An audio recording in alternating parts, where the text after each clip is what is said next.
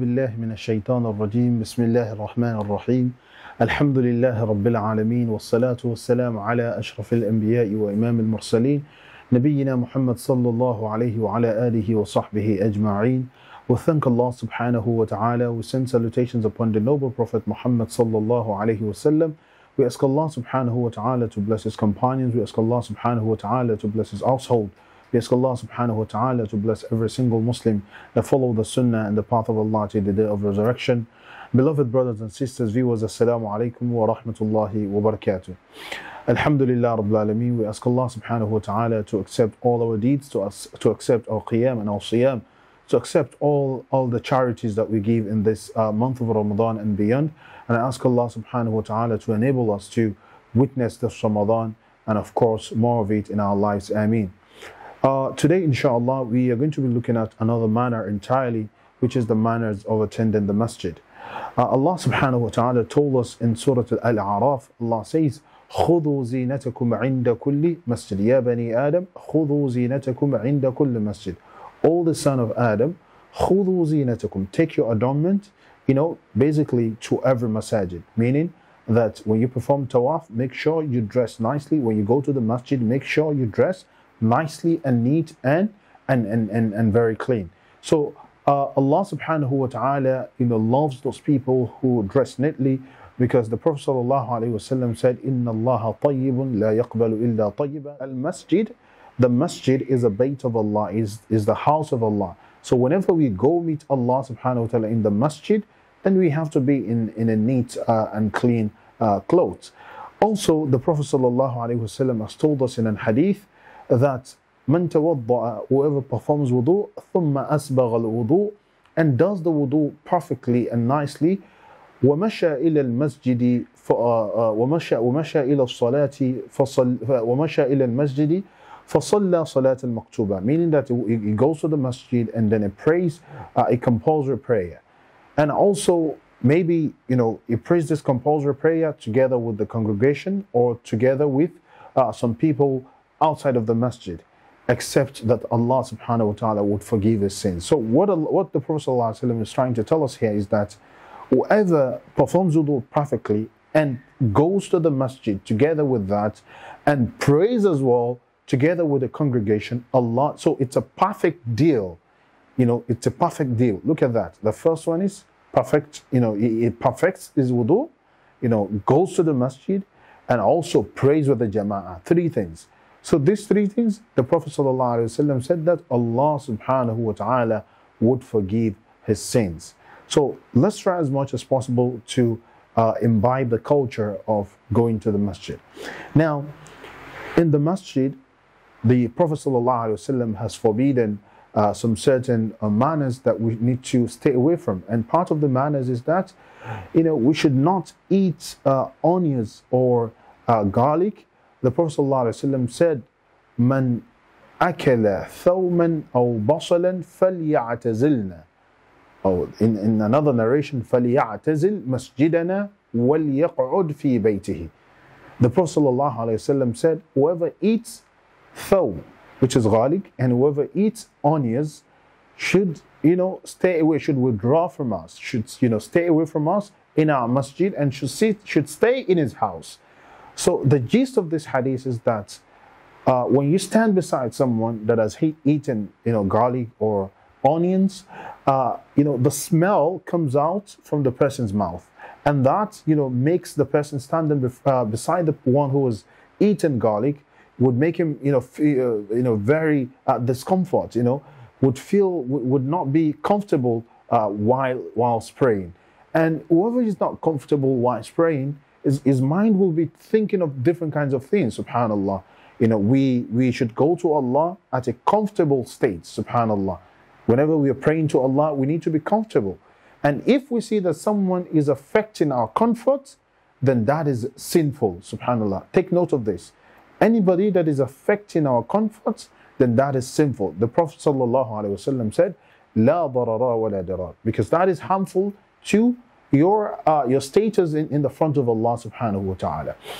In another hadith that the Prophet sallallahu alaihi wasallam told us, you know, uh, which is you know quite related to this, that the Prophet sallallahu alaihi wasallam said, "Man akala min hadhihi shajarat al Whoever eats, because you know uh, the Prophet sallallahu alaihi wasallam was advising uh, the Sahabas, and then he said to them, "Whoever eats from this uh, tree that is, you know, that has a foul uh, smell, has a bad smell, then the person should do what? The person is actually harming the malaika.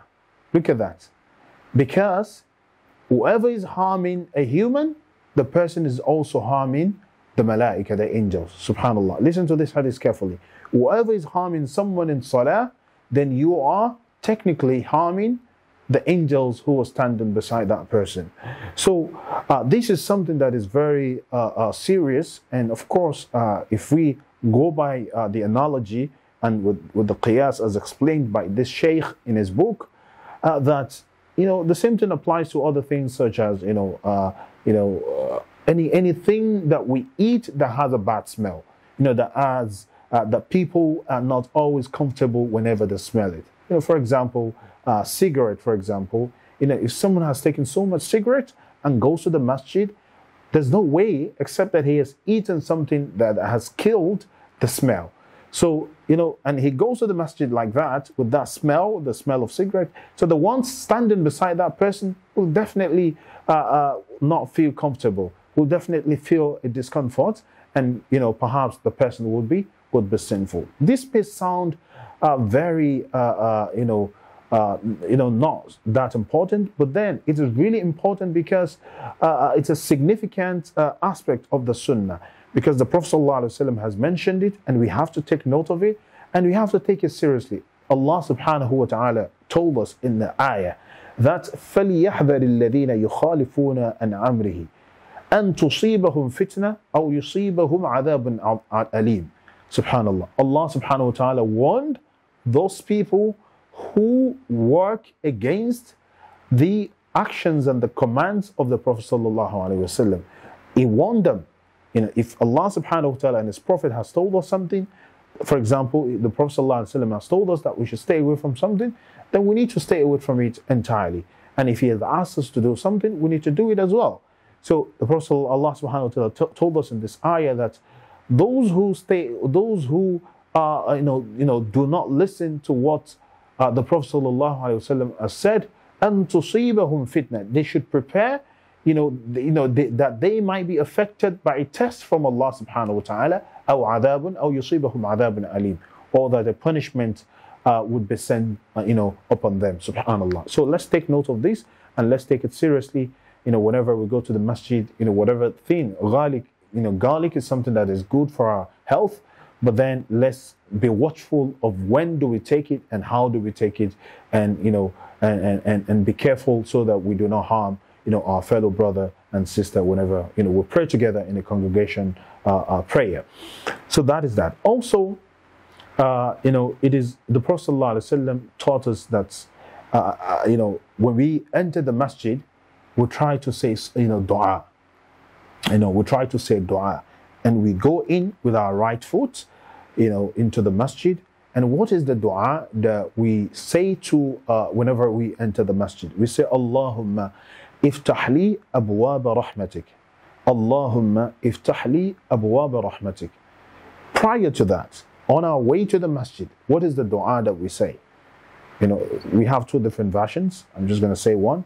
You know, it is very long. Allahumma ja'al fi qalbi nura, wa fi lisani nura, wa an wa fi sam'i nura, وفي بصري نورا وعن يميني نورا وعن يساري نورا وعن خلفي نورا you know, وعن أمامي نورا وعظم لي نورا It's a long hadith. Oh Allah subhanahu wa ta'ala bestow, you know, uh, light, you know, uh, in my heart, you know, and in, in, in my hearing, in my, in my sight, you know, in front of me, behind me, on my right hand side, on my left. Subhanallah, so encompassing, subhanAllah. So you're, you're, you're definitely protected by the light of Allah subhanahu wa ta'ala whenever you make this dua. Even, even though you are driving to the masjid, you, you still can do this dua. You know, you can still do, do this dua whilst you're driving to the masjid. So it's a very, very good dua. So when we get to the masjid, what do we do? We go in with our right foot. And entering the masjid with our right foot, we have to say a dua. It is a sunnah of the Prophet ﷺ that we say this dua. What is that dua? The Prophet ﷺ taught us that we say, Allahumma ftahli abwaba rahmatik. Allahumma ftahli abwaba rahmatik. O Allah, open the door of your of your mercy. Subhanallah. Oh Allah, open the door of your mercy. Allahumma ftahli abwaba rahmatik. You still, you, you know, you're making dua for yourself. And when coming out of the masjid, you say, Allahumma inni as'aluka min fadlik. So you go out with your left foot and you say, Allahumma inni as'aluka min fadlik. Oh Allah, I ask you from your from your favor. So you're entering the masjid with dua and you're exiting the masjid with dua as well. So this is a, this is something very beautiful. Let's try as much as possible to practice this, you know, whenever we go to the masjid. Lastly, when we enter the masjid, what is the sunnah of the Prophet sallallahu alaihi wasallam? What does the Prophet sallallahu alaihi wasallam do? You know, uh, whenever he enters the masjid. So when the Prophet ﷺ gets into the masjid, uh, there's a hadith about this. He said, you know, uh, uh, you know that لا يجلس أحدكم حتى يصلي ركعتين. That none of you should sit down إذا دخل أحدكم المسجد فلا يجلس حتى يصلي ركعتين. That you know whoever that enters a masjid, you know uh, that the person should not sit until he has performed you know two rak'ah you know, and that is what we call tahiyyatul masjid.